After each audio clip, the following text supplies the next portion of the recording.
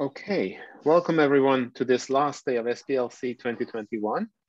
Uh, it's uh, my pleasure to uh, host the first uh, keynote speaker of today and uh, the chair of this session is Mehrdad Saadatmand. So without further ado, I hand over the word to Mehrdad. And before that, I thank our, all our sponsors. So the gold sponsors are BT, British Telecom, Robert Bosch and Pure Systems, and our uh, silver sponsors are Elsevier and Metacase. And we have the support of ACM and uh, Sigsoft. Thanks to all of them. And Mehrdad, the word is yours.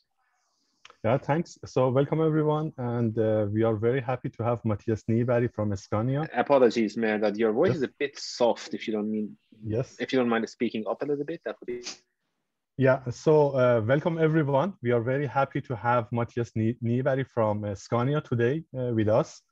And uh, the title of uh, these keynotes uh, is Generating Safety Cases for Larger Scale Industrial Product Lines. And without further ado, I would like to ask Mattias to start, maybe by introducing himself and saying a couple of words about his background and his experiences from industry. And then we dive into the technical aspect of this keynote speech. Uh, so thanks, uh, and Mattias, please start. okay, thank you. I will first like to thank you also for inviting me uh, to give this uh, keynote speech here today. Uh, myself, I'm living in Stockholm, Sweden, and uh, the title is, as was said, they're generating safety cases for large-scale industrial product lines. Uh, I'm trying to change slide now. It doesn't work.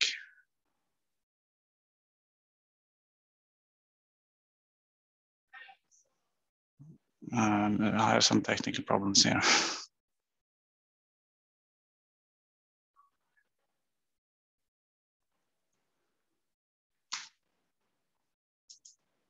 I do see your mouse moving, so I don't think your computer has crashed. All right. Yeah. No, no, it's not full screen anymore. I try it again. Okay, now it works. So uh, I am. I have uh, two jobs. My main uh, affiliation is uh, at the heavy vehicle manufacturer Scania. There I am a technical manager of uh, functional safety. And I'm responsible for methods and tools to achieve functional safety. Uh, but also I have another job. I'm uh, at uh, KTH, Royal Institute of Technology in Stockholm.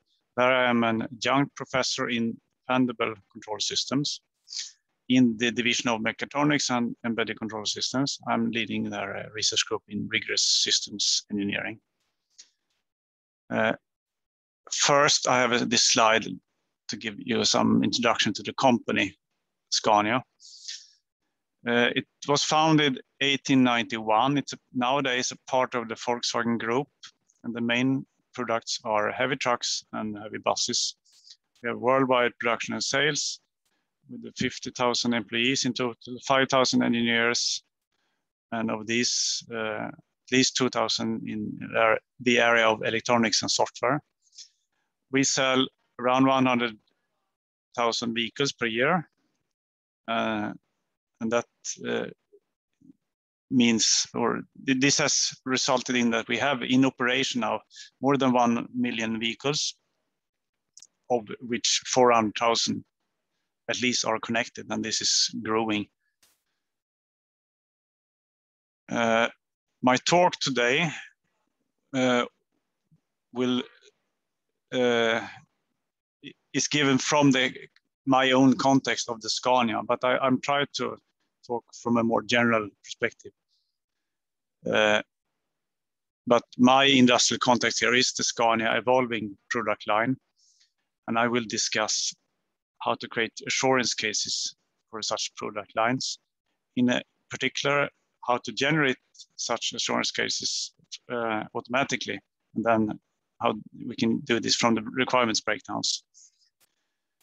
And large part of my talk will be that, about the industrialization of, of this. So it's not only a theory, but also how can this be done in industry? And, uh, and in that sense, it reflects both the current development regarding this at Scania, but also what has happened the last seven years regarding experience and uh, co collaboration on this topic between Scania and KTH.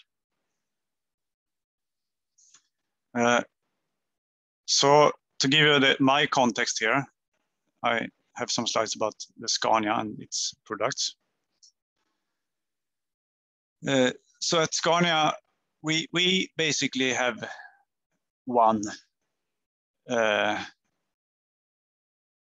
product. It's a truck, but it comes in many, and many here is mil billions of variants.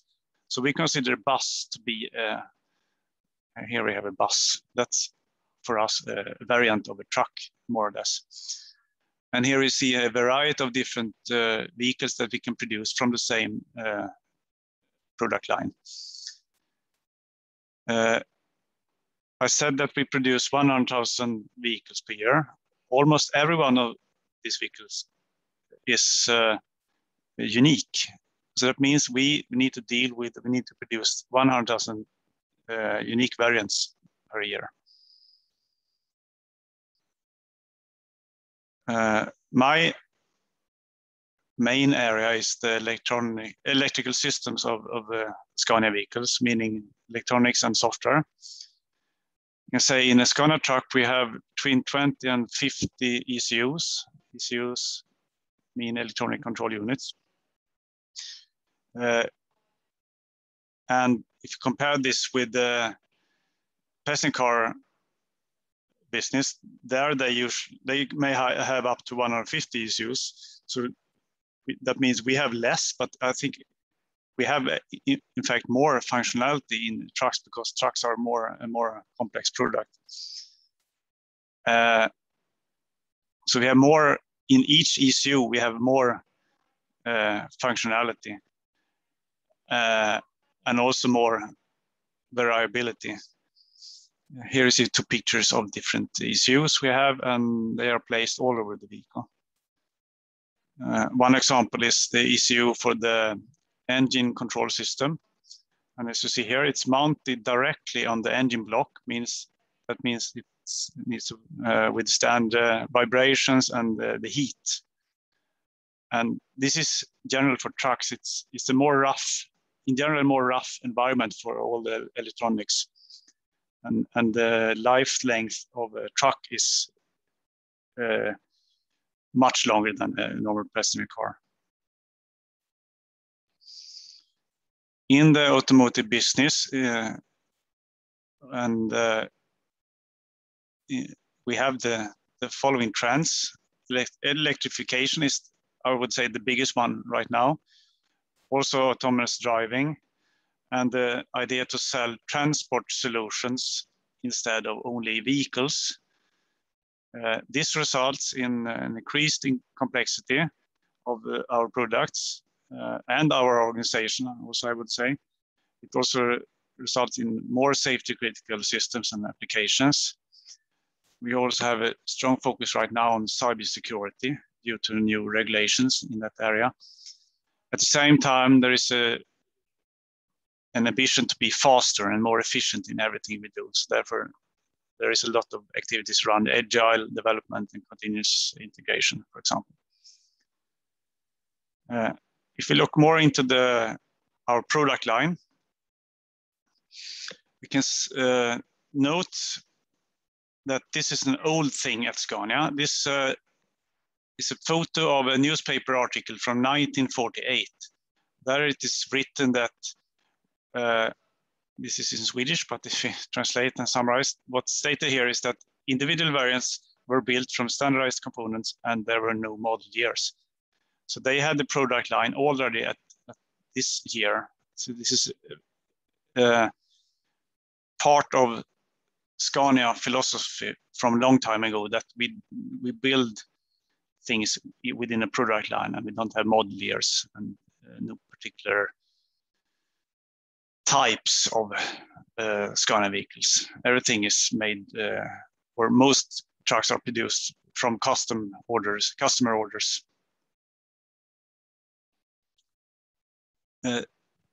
To make this possible, we have since long the so-called Scania modular system.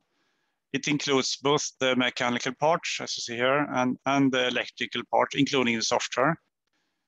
And, and these parts are combined uh, to form all the different uh, kind of products we have.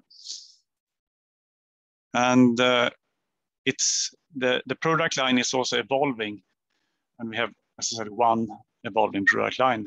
Uh, what it means is that every week things are allowed to change. So uh, instead of model years, we can think of that we have model weeks. So there is some change to our product line that happens every week.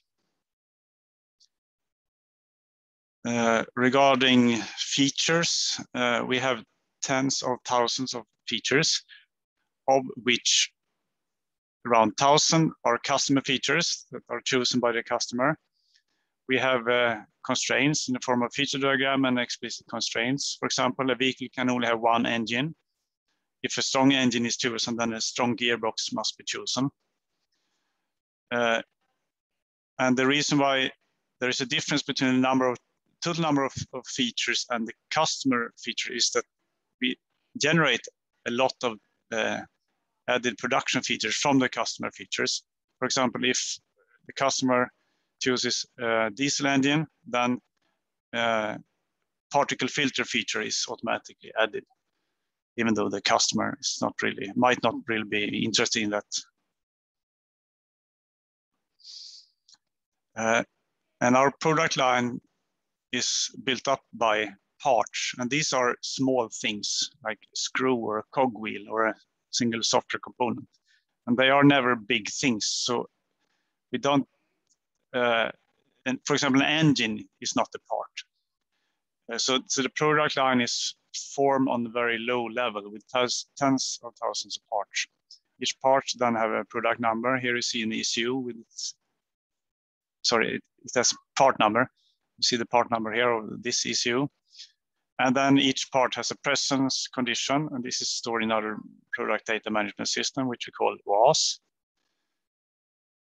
Uh, this is the how it works. The customer uh, selects between 1,000 features. It is then transformed in several steps. Um, and then there is a, a constraint checker here.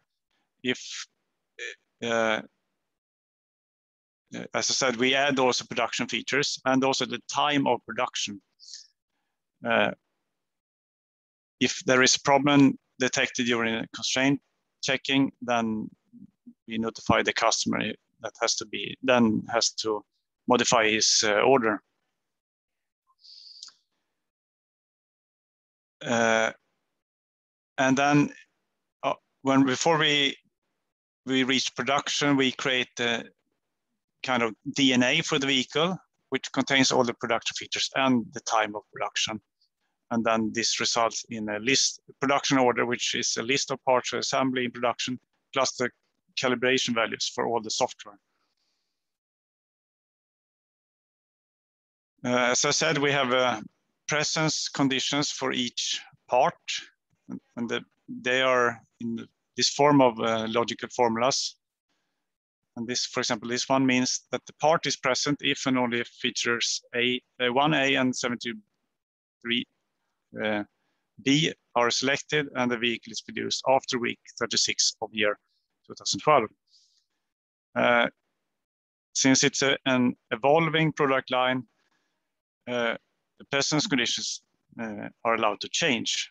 So when we decide that one part is no longer used, we, we might add this red part to, a, to the presence condition telling after week 12, 2017, this uh, presence condition evaluate to false. And that also, we can use this also to uh, uh, note that parts are used, used in new variants like this. now to the assurance case. Uh, I'm, the title talks about safety case, but safety case is just an example, a particular uh, example of an assurance case. So an assurance case is a structured argument supported by evidence intended to justify that the system is acceptably assured relative to a concern in the intended operating environment. Uh, and the typical concerns of interest are safety and cybersecurity. Uh, and of course, there might be other concerns also, but this is uh, the focus at, at, Scania, these two kind of uh, concerns. And then we call it the safety case or the cybersecurity case. Uh, and such assurance cases are important since they are required by safety and cybersecurity uh, standards. And, but not only that, because even if it's if it would not be required by the standards, uh, I think it it is uh, and maybe the only holistic, systematic, reasonably established industrial practice to conclude if a product is safe, uh, secure or not. Uh, usually, these uh, assurance cases are uh, visualized in diagrams. Here you see one kind of notation where we have the claims that, and the claim might be on the top that the vehicle is safe. And then we have sub claims. We have arguments uh, that argues uh, why the claim holds and evidence that supports the argument. The, there is a maybe more well-known notation called GSN, uh, goal structure notation. It looks like this, but the, the idea is principal idea is the same. And uh, it has been uh, noted in, uh, in industry and in literature that this is not as simple as it might look like. There are problems and according to these papers here, there are problems in every aspect of assurance cases to build them, review them, maintain them, and reuse them. And I tend to agree with this. Uh, and the reason for this is that the, the volume of material, the size, and little structuring support and, and ad hoc usage of uh, all kind of things, including evidence. And this is actually what I try to address in this talk uh, in the following slides then. But first we, we can, I would like to discuss what kind of assurance case uh, we want uh, we can build an assurance case per variant. And in the Scania case would mean that we need then to, to create 100,000, uh, if we now talk about safety, 100,000 safety cases per year, one for each produced Scania vehicle. I think this is a desirable thing to have because you want to know when you produce the vehicles, you want to know uh, why is this particular vehicle safe? And if there is some feed problems, you want to go back and see what the reasoning for that particular vehicle was. Uh, we could also think of creating one, one assurance case uh, for all the variants that we could possibly produce. Uh, and someone told me that that's possible to produce 10 raised to 65 different uh, variants per year. So that would mean we need to create uh, 10 raised to 65 safety cases per year, which would not, of course, be possible. Uh, but we need something more than only at, at the time of production. We, we have this uh, safety case per variant, but we need something more. And we, we then try to build assurance cases for the whole product line. And why we need these is the reason is that during development, engineers want to be notice, notified as early as possible if there is a problem with the, uh, the vehicles with respect to safety or uh, cybersecurity. It's too late to get to know this when you when you start to produce the vehicles. Uh, and for example, before the start of sale, we we we like to know if there are variants that are not safe, and in that case, we would like to exclude them from the uh, configurator by adding some constraints. Uh, now I will explain how we can systematically derive assurance cases from the requirements breakdown. I will present this in the context of the functional safety standard ISO 26262. Uh, the purpose of this standard is that function uh, to ensure that function implemented by electronics and software are safe. And this is an example of a standard that requires uh, safety cases. The core idea here uh, is that on the top we have uh, hazards that are identified dangerous things of, of the product, of the vehicle in our case. Uh, for example, a hazard could be that when, when the uh, brake pedal is pressed, the vehicle is not braking. That's, that's a hazard. Uh, and then we have requirements that aim to mitigate these hazards. So in, in this example, it could be that the requirement is that when I press the uh, braking pedal, the vehicle shall brake. Then there is refinements. We have lower level requirements, and then that could be uh, uh, iterated several times until we reach down to the implementation level. And there we have then basic software and hardware elements that are supposed to implement the lowest levels requirement. You can, as an example here, we see a bigger element composed of smaller elements, and then the, the requirements refinement follow this architecture. Uh, so if we have such an architecture and this kind of requirements breakdown, we can conclude that if requirement R1 mitigates hazard one, this is re this relation here, and requirement R2 refines requirement R1, this is this relation, and lastly, if element E2 implements requirement R2, which is the bottom thing here, then the system is safe with respect to hazard one. Uh, this we can translate to a safety case uh, with the claim that our system is safe with respect to hazard H1, with the, the arguments being this uh, relationship in the requirement breakdown. Uh, to complete the safety case, we also need to add the, evidence. For example, an evidence for that R1 mitigates hazard H1 is that it has uh, an independent review has been done. Or for the refinement or requirements, there has been some semi-formal analysis of that. For the implementation relation, there has been some simulation and high coverage testing.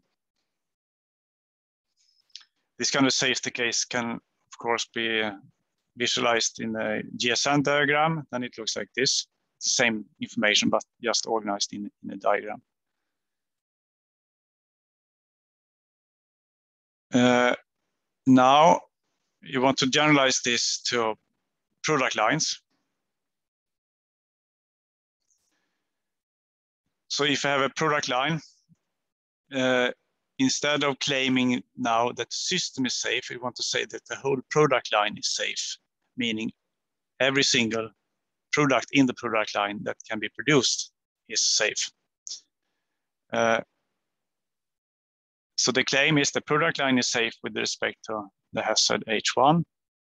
The arguments are the same, but we now have, in this case, uh, it's a simple case. We have two elements here that are variants uh, of each, each other.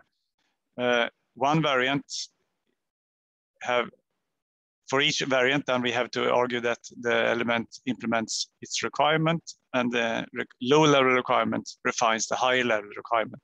So per variant, we need to ensure that this relationship holds and also for the other variant that this relationship holds. But to complete this, we need one more thing. And and it's, it's the presence conditions. For each uh, uh, element and requirement, we attach a presence condition. Uh, and for the safety case to hold for the whole product line, it is then necessary that now for this example, that requirement R1 is present in all product variants. Uh, whenever R1 is present, R2A or R2B are present. So whenever this is present, one at least one of these must be present. And then for each of the variants, we need to make sure that the requirement is uh, the sorry for each of the elements the presence conditions uh, okay. Whenever or the requirement is present also the corresponding elements needs to be present all this can be expressed in terms of presence conditions now uh, on the top here we say the presence condition R1 need to be evaluated to true. And this relationship between the present conditions of uh, requirement R1 and the lower level requirements R2A and R2B. Uh, then we have this uh, relationship to hold that the, the first presence condition needs to entail the other presence conditions here. And the same goes for the uh, requirements on the on lowest level requirement compared to the presence conditions of the element. We, so the, the complete safety case uh, is then complemented with the, sorry, uh, the, the, the press, present conditions relationships like this. Then we have a complete safety case. We can also add this to the uh, graphical representation. This is again in GSN format. Uh, so we see the presence conditions here added. The, the, sorry, the present condition relationships added. And these are logical formulas as we saw before, so they can be checked. For example, theorem provers. So now the rest of my talk will discuss how can we do this for real, in reality, in, in industry and also large scale. This is what we currently try to do at Scania now.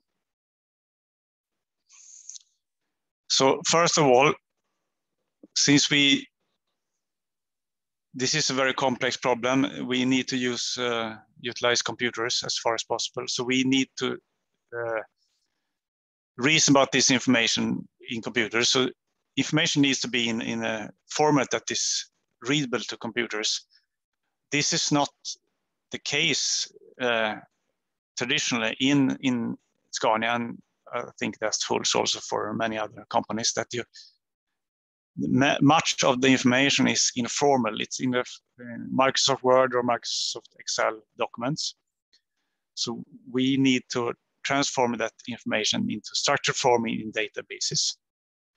This is, uh, you can refer to this as digitalization. Uh, and this is a huge challenge for at least a, a company like Scania, which uh, has a lot of legacy and solutions and uh, traditions. It's, it's not only that we need to uh, represent the information in a digital format, which we call digitization. Uh, when doing this, we need to change a lot of the methods and processes also. And in order to do so, we need uh, heavy management decisions and a lot of investments. Uh, and it turns out that this is also a difficult problem and, and something that the, the competence and knowledge how to do this is not uh, it's not sure that we we have all this knowledge uh, internally and uh, also lack of technology uh, because most uh, solutions cannot scale up to the level of, uh, of the size of a company like Scania.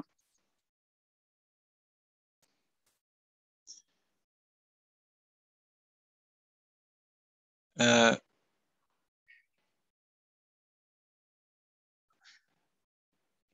I don't. I have some problem here with the title. Do you see the title of this uh, slide? Yes, we see tool chain oh, architecture. Okay, I don't see it. I have some problem here. Oh. Okay, I, I, think I know what the title is anyway. So,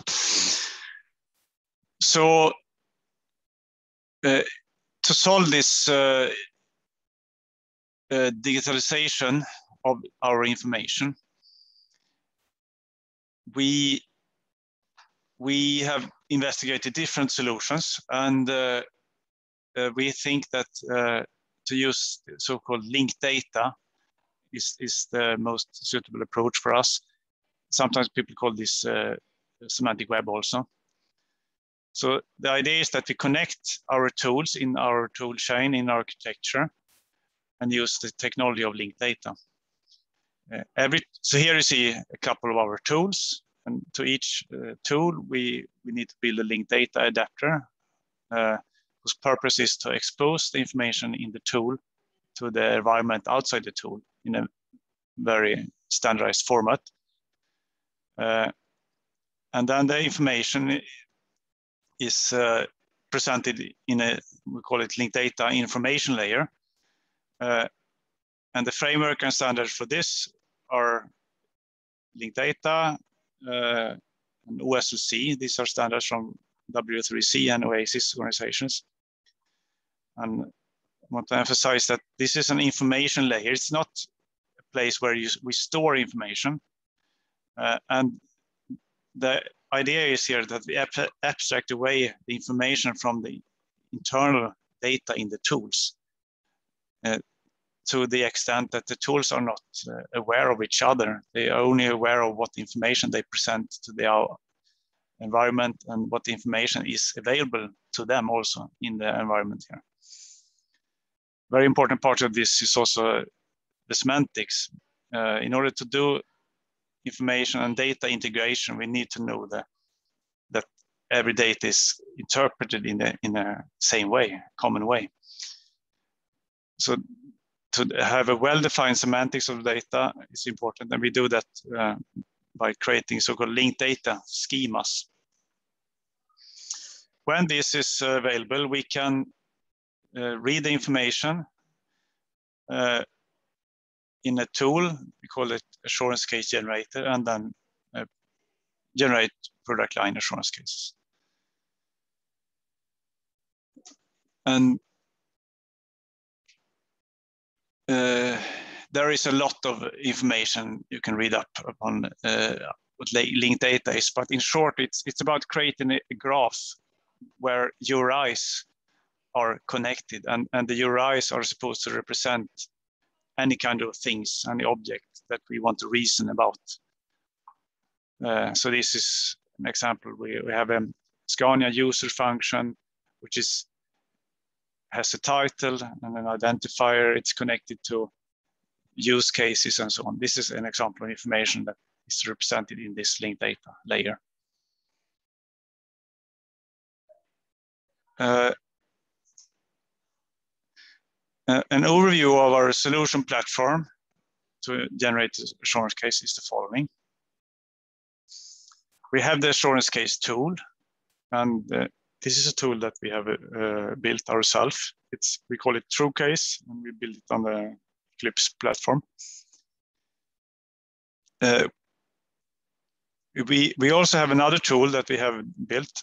Uh, it's also Eclipse, and it's called Eclipse Lyo. The purpose of this tool is to create schemas, linked data schemas, which are used by the adapter. So we can control centrally the information that is exposed by each of the tools to the linked data layer. Uh, the assurance case tool is also contains an information model, which is completely synchronized with the schemas here. And use this to reason about the data coming from linked data layer. Uh, we also have a usage of uh, queries, and then we use a standard Sparkle SPARQL endpoint. SPARQL is a query language for linked data. Uh, I talked about the linked data schemas and adapters. Uh, so this is a central part. As I said, for each tool, we have a linked data adapter. Uh, each tool has at least one, yeah, it can have several, but at least one linked data adapter, and each linked data adapter has one linked data schema, and that's what you see to the right here. It's very close to a uh, standard UML class diagram, and it defines hard syntactic constraints on the data. Uh, for example, which attributes are allowed for instances of each class and which classes and subclasses are allowed at all. Uh, so the whole idea of this is to have a very, as I showed you on this slide, very controlled way of how this, these tools expose their information to the, uh, its environment. Uh, then the assurance case generator, which we call the TrueCase, is constructed uh, as follows. It contains a number of components like this. We see here TrueCase in, in together with the linked data schema editor Eclipse Lyo, as I explained in the last slide. Uh, one core component here is the textual model editor. Here is where we create the information model representing uh, all the classes of information we want to reason about. Uh, we also define the assurance case structure here, uh, assurance case patterns and definition of different types of claims, like what do we mean by a safe vehicle? what do we mean by sufficient amount of testing? Uh, these are claims that can appear in a safety case, and its meaning then is is defined in in this part of the tool, and it's a textual uh, model editor. Another core part is the assurance case builder that takes the assurance case structure, the patterns and the claim ties. And then says this by help of the, the linked data that is coming from the, the SPARQL uh, queries. And then we are able to check if and set up the, the individual claim instances and evidence and check if they are valid. We present the result in the form of dashboard for dynamic tracking of status, but also we are able to generate PDF documents for archiving here of the safety case. Uh, there is some more parts here. The, the model comes, it's big and complex. We, there is a need to check the correctness and consistency of the model.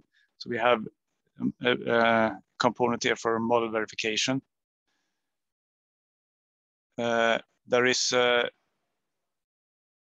in addition to the textual uh, model, viewer and editor, we can view the models uh, graphically in, in diagrams. So we have that component here.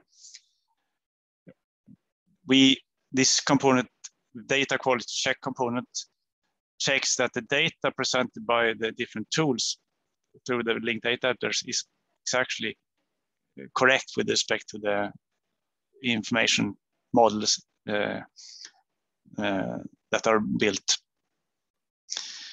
Uh, when analyzing the claim and evidences, we, we use sometimes the theorem provers, for example, to check the entailment of the presence conditions relations. Uh, this is a screenshot of uh, how it looks like when you build information models in, in TrueCase. See, it's a um, textual version of a class diagram, and there is a lot of GUI support here for online uh, live checking of, of uh, the model itself. And as I said, there is also possibility to view the model graphically and also actually to edit some parts of the model graphically.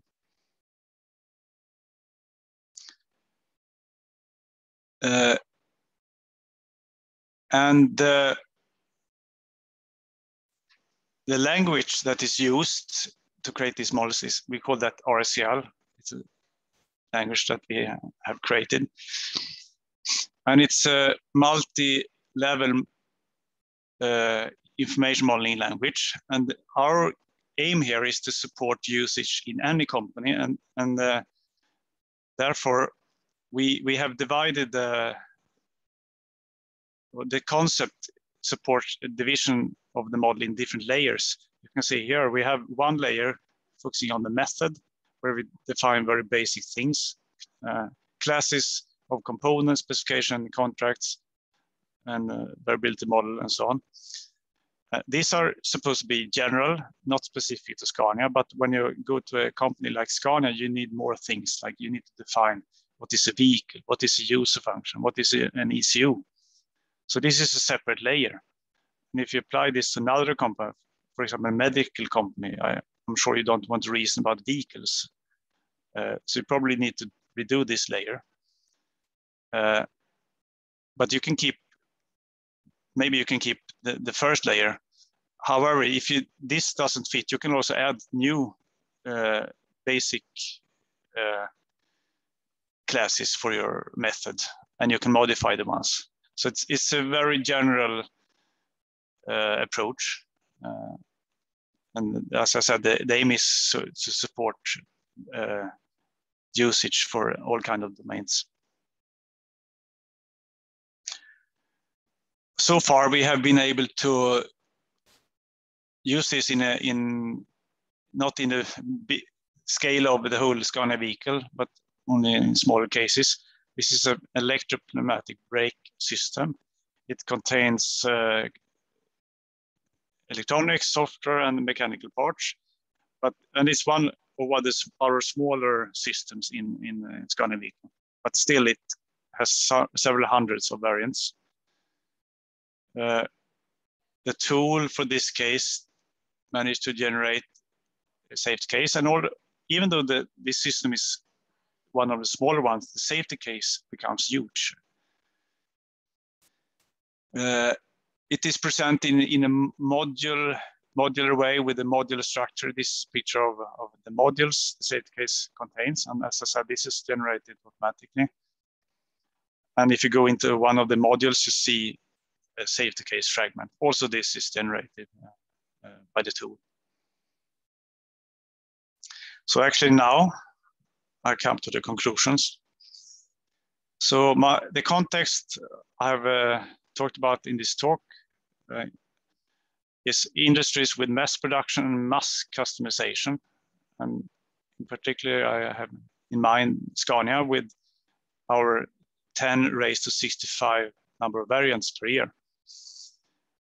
Uh, and also, it's important that there is an interest to or that there are critical properties that needs to be sure, uh, like safety and cybersecurity. If you don't have such critical properties, it's, it's not. I'm not convinced that it's worth doing all these things.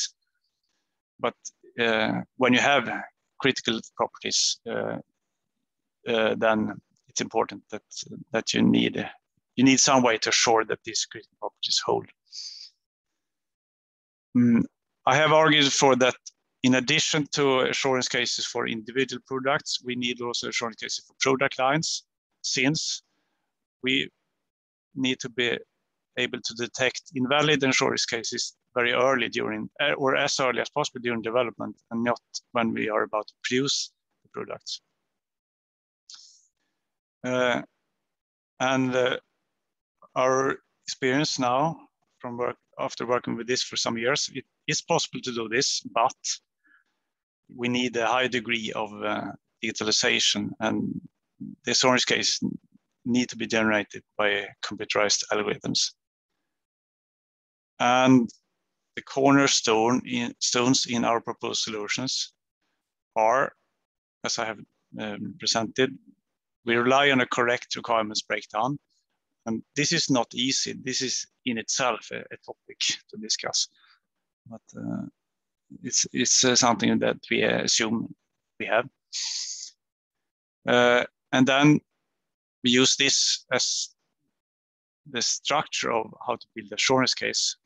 Uh, I have explained that we, to get the assurance case for product lines, we need to add the entailment of presence conditions to the requirements relations, like refinement and implementation. We need to add them as arguments in the assurance case.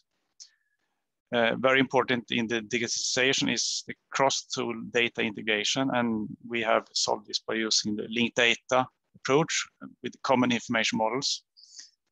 And, and uh, central part in our solution is the TrueCase tool that we are developing. It's a textual, it contains a textual language for information modeling and assurance case structure definition. Uses SPARQL queries and Theorem Prover for an analysis of claim and evidence validity. And it, the ultimate goal is to generate product line assurance cases. And as I said, we we aim to do this to, to create this so it's applicable to also other companies. Uh, and the, the, means for that is our multi-level information modeling approach with separate layers for methods and company-specific definitions. And uh, we plan to release this open source uh, uh next year. Lastly, if you want to read more about things I talked about, we have written uh, uh, papers. This is also published papers in different conferences and journals. And uh, so you can read but much more details by looking up these papers. So that was uh, my uh, presentation. Thank you.